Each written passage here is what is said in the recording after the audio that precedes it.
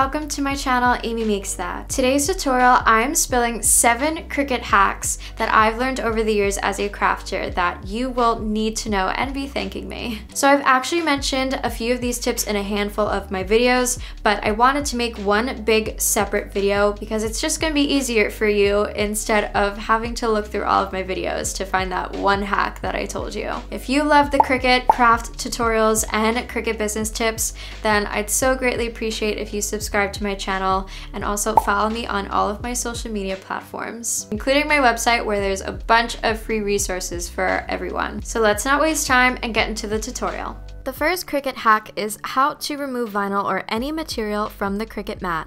This was something I learned the hard way and I think it's necessary to share with y'all.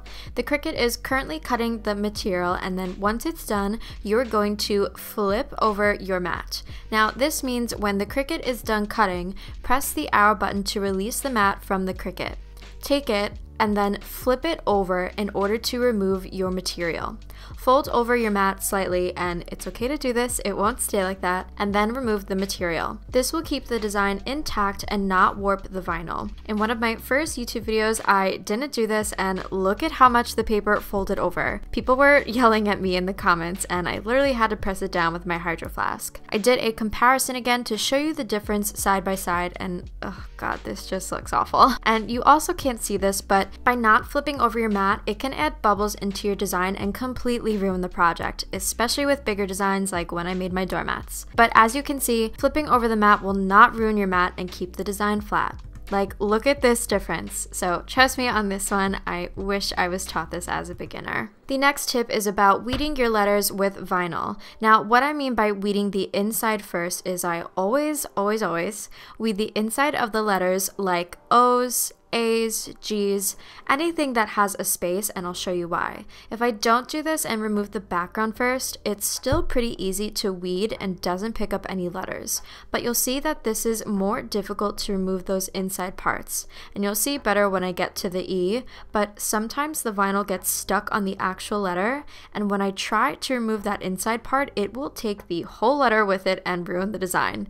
You can try and be super careful with this, but Time and time again, I just found that weeding the inside parts first avoided all of these problems. Like, look at this. Oh, it doesn't even say pumpkin season anymore. Here's the better way to weed, which is by removing those inside parts first. So for this design, I had to do it for the letters P, E, A, O and M because of the font. So I'm finishing this up and then I can remove the background. I did have to cut it off because my camera got blurry at this part, of course, but the right is the weeding the inside parts first of the letters and the left is removing them first, and you can definitely tell which one's which.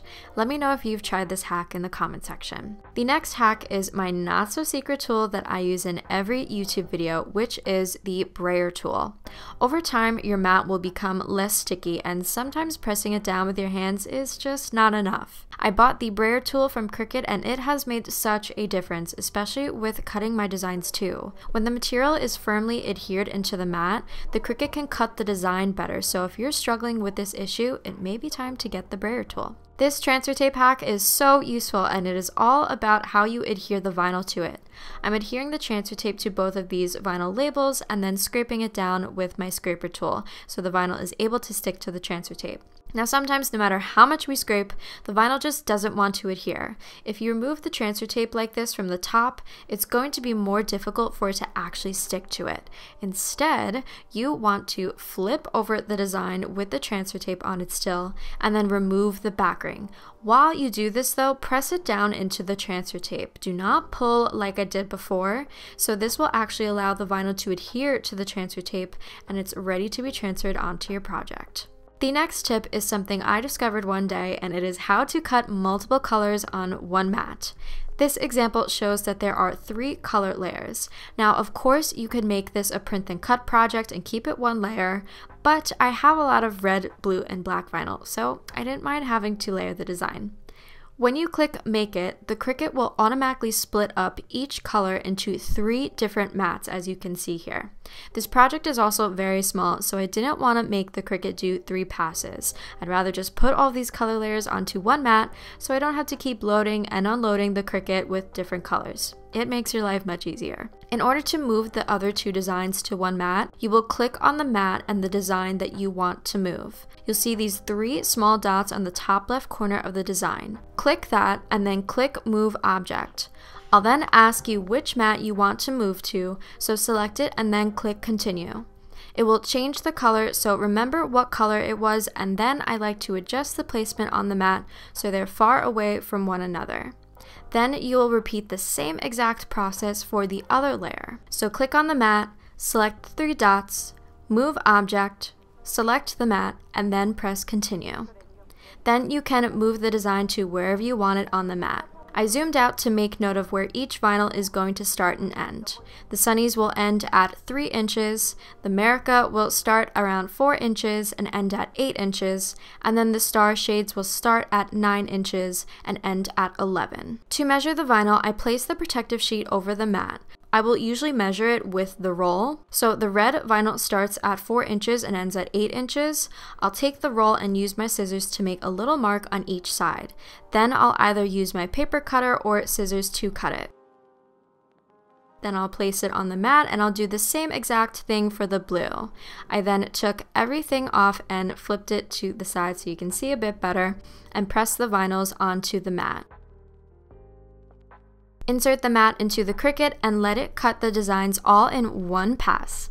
It may seem like a little more work in the beginning, but especially if you have a lot of designs to be made, keeping them all on one mat just makes your life easier. On to the next Cricut hack, and this is the Snap Mat feature. This can be done on the Cricut Design Space app with your tablet or phone. So you do the opposite of what I did on the previous tip. You'd place the vinyl down first on the mat and then take a picture of it by pressing the Snap Mat button. Then the Cricut will save that picture.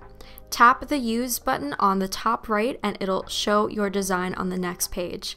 Then you can drag it anywhere on top of the vinyl, and then you'll click Next to cut it. And if you need more help using the iPad with the Cricut Design Space app, you can watch my latest video on that tutorial. The last hack is one of my favorites when making bigger design projects, and it's using painter's tape.